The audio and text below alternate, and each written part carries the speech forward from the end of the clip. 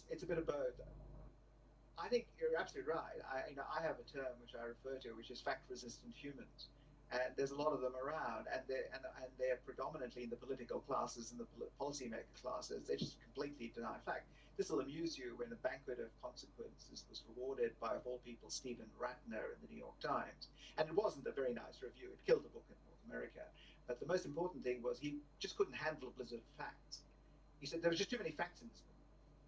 And you know, one of the most interesting things is an American writer called uh, uh, Fran O'Connor who said, you know, facts really don't depend on your ability to stomach them, and you know, it, it just it, they're just there, and you know, you you can actually sort of deny reality, but you can't deny the consequences of reality, and to some extent, those things are now coming home to roost. And I think the way this is going to play out is in one of three scenarios.